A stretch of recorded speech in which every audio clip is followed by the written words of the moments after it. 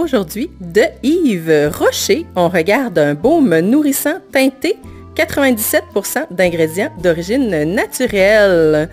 Petite teinte subtile et odeur délicieuse. Recommandée.